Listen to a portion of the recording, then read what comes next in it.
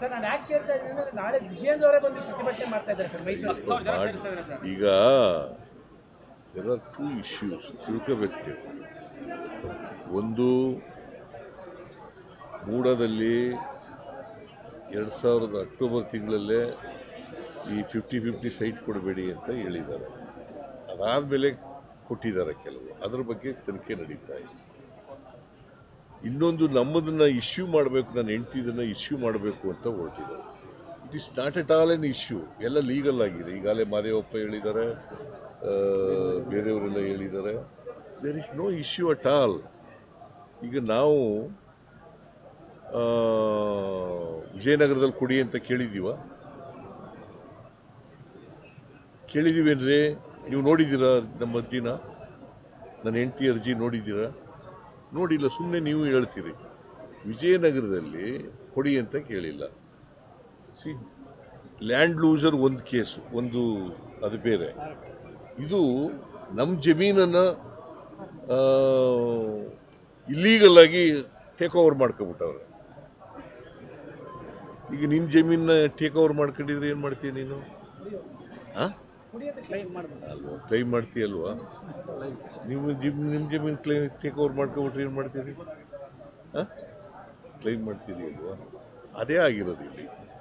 ನಮ್ಮ ಜಮೀನ್ ನಮ್ಮ ಜಮೀನಿಗೆ ಪರಿಹಾರ ಕೊಡಿ ಅಂತ ಕೇಳಿದ್ದಾರೆ. ಅವರು ವಿಜಯನಗರದಲ್ಲಿ ಕೊಟ್ಟಿದ್ದಾರೆ ಜಮೀನನ್ನು. ಅದು ಆಮೇಲೆ ನಾವು ಟೇಕ್ ಓವರ್ ಮಾಡ್ಕೊಂಡಿರೋದು ಇಲ್ಲೀಗಲ್ ಆಗಿ ತಪ್ಪು ಅಂತ ಮೂಡೋದವ್ರೆ. ಒಪ್ಕೊಂಡಿದ್ದಾರೆ ಮೂಡಾದಲ್ಲಿ ಗೂಡಾದಲ್ಲಿ ಮೀಟಿಂಗ್ನಲ್ಲೇ ಒಪ್ಕೊಂಡಿದ್ದಾರೆ where is the issue where is in issue ಹೇಳಪ್ಪ ನೀನು ಅಲ್ಲಲ್ಲ ನೋ ನೋ ನಾನು I am not asking Vijendra because Vijendra political ಆಗಿ ಮಾಡ್ತಾ ಇದ್ದಾರೆ ಕಾನೂನಾತ್ಮಕವಾಗಿದೆ ಅನ್ನೋದು ಬಹುತೇಕ ಅಭಿಪ್ರಾಯ ಪಟ್ಟಿದ್ದಾರೆ ಆದ್ರೆ ಆ ನಂತರದಲ್ಲಿ ಕೆಲವೊಂದು ಇಲ್ಲಿಗಲ್ ನಡೆದಿದ್ದಾವೆ ಇದನ್ನ ಹಿಡ್ಕೊಂಡು ಅದಕ್ಕೆ ಅದು ಎಂಕ್ವೈರಿ ಮಾಡಿಸ್ತಾ ಇದೀವ್ರಿ ಇಬ್ರು